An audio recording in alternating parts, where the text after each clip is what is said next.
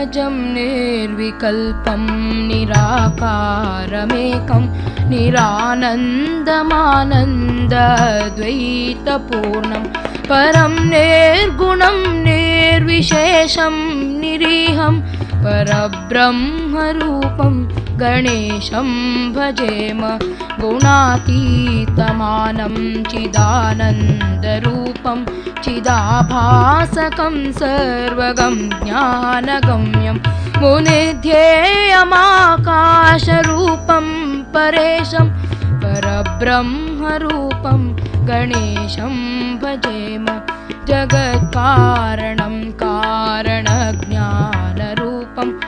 सुरादिं सुखादिं गणेशं भजेम। जगद्व्यापिनं विश्ववन्द्यं सुरेशं परब्रह्मरूपं गणेशं भजेम। रजोयोगतो ब्रह्मरूपं श्रुतिज्ञं सदा कार्यसक्तं हृदा चिन्त्यरूपं। जगत्कारणं सर्वविद्यानिदानं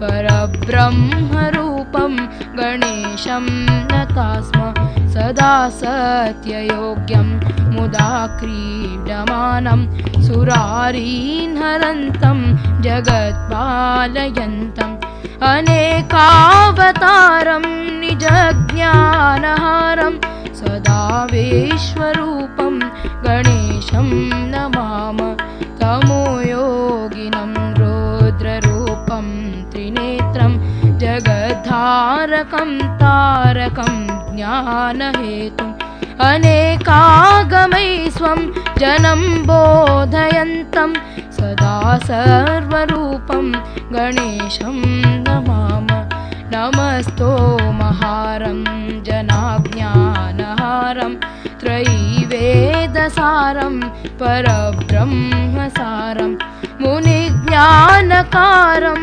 विदूरे विकारं सदा ब्रह्मरूपं गणेशं नमाम।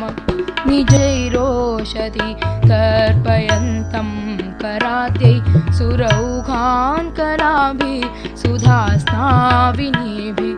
दिनेशांशु सन्तापहारं द्विजेशं शशाङ्कस्वरूपं गणेशं नमामः। प्रकाशस्वरूपं नमो वायुरूपं विकारादिहेतुं कलाधारभूतम् अनेकक्रियानेकशक्तिस्वरूपं सदा शक्तिरूपं गणेशं नमाम।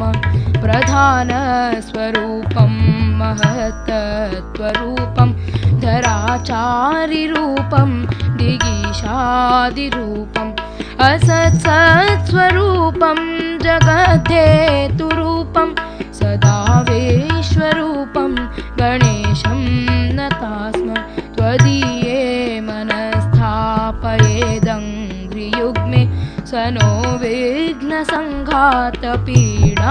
लभेत। लसत्सूर्यबिम्बे विशाले स्थितोऽयं जनो ध्वान्तपीडां कथं मा लभेत वयं भ्रामिथा सर्वथा ज्ञानयोगात् अलब्धत्तवाङ्घ्रिं बहून् वर्षपूगान् इदानीमवाप्त तवैव प्रसादात्। प्रपन्नान् सदा पाहि विश्वं वराद्य प्रपन्नान् सदा पाहि विश्वं वराद्य प्रपन्नान् सदा पाहि विश्वं